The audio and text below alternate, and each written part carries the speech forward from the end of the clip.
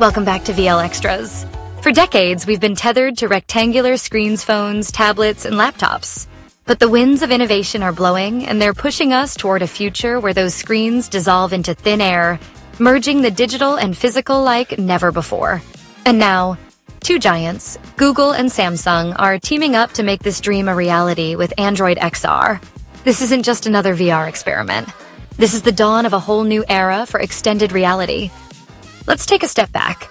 Extended reality, or XR, is an umbrella term for technologies that merge the physical and virtual worlds, including AR, augmented reality, VR, virtual reality, and MR, mixed reality. While companies like Meta and Apple have made waves with their devices, think MetaQuest, Envision Pro, Google, and Samsung are combining their strengths to create a true metaverse ecosystem. Here's the scoop. Google, Samsung, and Qualcomm have joined forces to unveil Android XR Google's extended reality operating system.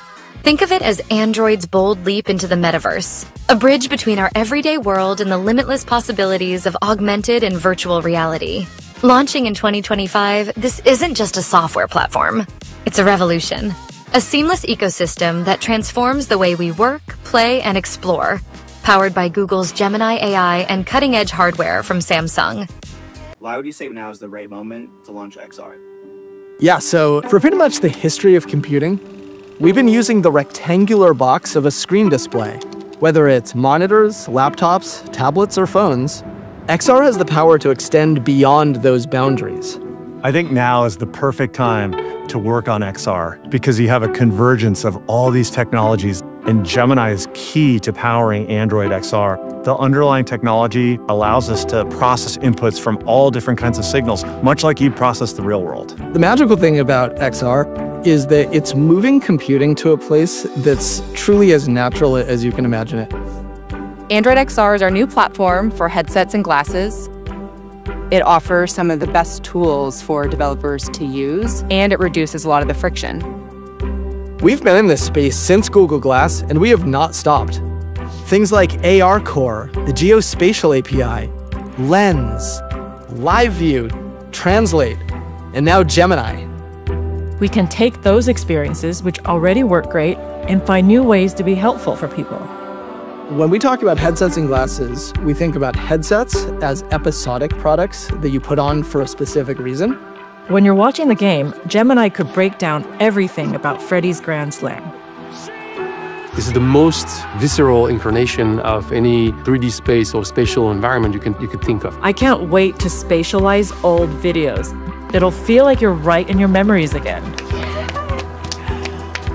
And then we think about glasses as all day products that you use to get value throughout your day. Our technology really enables us to shrink down the displays that go into the glasses. We'll see more of these highly portable devices that will more and more look like the ones I'm, I'm, I'm wearing right now. With glasses, you'll feel like you're a local, no matter where you are. There's no way we could build this platform other than collaborating very closely. We've been working with Samsung for a number of years, and so we look for opportunities where we could really marry each other's strength in creating something new. From software and UX to hardware, cross-functional partners across both companies have worked seamlessly around the clock as one team to build a powerful XR platform. We've learned that we can build the best platforms with an ecosystem of developers, designers, and device makers. A lot of deep collaboration happens for us to bring the best solution to the ecosystem, to the platform, and to the users. Alone, you can go fast, but together, you can go far. And the only way we'll get there is if we build this together. Let's rewind for a moment. Remember Google's Daydream View? Samsung's Gear VR? Great ideas too early for their time. But now with AI breaking boundaries, high performance chips like Qualcomm's XR platform, and the success of devices like Apple's Vision Pro, the stage is set. As Google's VP of AR and XR, Shahram Izadi, put it, the technology is finally at an inflection point. And wow, what an inflection point this is. At its core, Android XR is a next-generation operating system, blending Google's expertise in software and AI with Samsung's cutting-edge hardware. Think of it as the Android you know and love, but designed for 3D environments. Imagine this. You're wearing Samsung's futuristic XR headset codenamed Project Moohan, and you ask Google's Gemini AI, What's that mountain in front of me? Within seconds, Gemini overlays your view with rich details, its name, height, and even live weather conditions. Now let's talk about hardware. Samsung's Project Moohan is the crown jewel of this partnership, a sleek, lightweight XR headset that sets new standards in design and performance. With six degrees of freedom, advanced eye tracking, and hand gesture support, it delivers an experience that rivals Apple's Vision Pro at a fraction of the cost. But Samsung isn't stopping at the basics.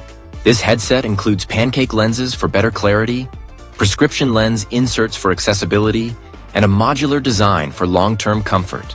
It's designed for everyone from casual users to professionals. And the price point? Samsung hints at something far more affordable than its competitors, aiming to make XR technology accessible to the masses. Let's not forget the lifeblood of any new platform. Developers. Google is making sure Android XR becomes a developer's paradise. Existing apps on Android will work seamlessly in XR environments. Android XR integrates seamlessly with Android Studio, AR Core, Unity, and OpenXR. Existing Android apps? Instantly compatible. Got a tablet app? It'll scale beautifully in XR. And if you're ready to dive deeper, Google's XR Bootcamp offers hands-on access to this groundbreaking hardware. Thanks to AR Core, OpenXR, and integrations with tools like Unity and Android Studio. And for those who want to go beyond 2D apps, Google is launching an XR Bootcamp to help developers create immersive 3D experiences. Google has announced Android XR. Samsung has a mixed reality headset for Google, and there are glasses in the works too. This is a lot to digest, and I just got out of a demo of this stuff. Let me talk to you about it. Google's been promising a collaboration with Samsung and Qualcomm for a year now, talking about this future of mixed reality. And we already have Apple in the landscape. We already have Meta in the landscape. And we also have other fringe players as well. Now, Google is back in the landscape. They had been out of VR and AR for the most part, and they're back in.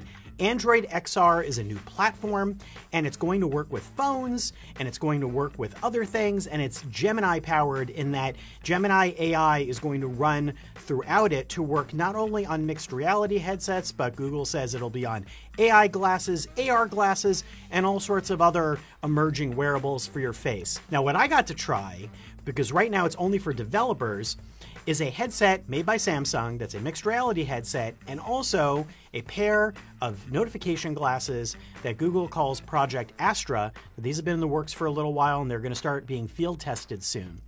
Now, bear with me because I'm going to be talking a lot, and we don't have any photos or video of my demo because they were not allowed. That's pretty standard issue for early VR and AR in my experience. So, first of all, Project Moohan, which is the name of the mixed reality headset for now that Samsung is going to release next year, looks a lot like a Vision Pro, or it looks like uh, the Meta Quest Pro, if you remember that headset.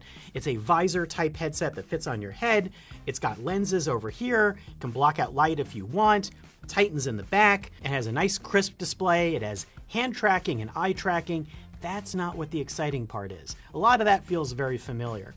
But when I tried demos in this headset, bringing up 2D apps in a very Android like interface, I was able to bring up familiar Google apps and navigate using my hands and bring up different panes. But I could also turn on Gemini to be my companion throughout the whole journey. Now, you already have things like Siri working on Apple Vision Pro, and there are some voice AI things in uh, Imagine building an app that lets users virtually shop in a mall or explore an interactive museum from their living room. The possibilities are endless, and Google is providing the tools to make them happen. Apple may have Vision Pro and Meta may lead the VR scene, but Google and Samsung are rewriting the playbook. They're not just building a headset. They're building a world, a world where the lines between reality and imagination blur into something extraordinary. VL Extras is here to tell you, the future isn't coming. It's already here. And Google, Samsung, and Qualcomm are handing us the keys to unlock it. So what do you think? Is Android XR the next big thing? Will Samsung's Project Moohan steal the show? Tell us in the comments, and don't forget to hit that subscribe button for more incredible stories like this on VL Extras. See you in the metaverse.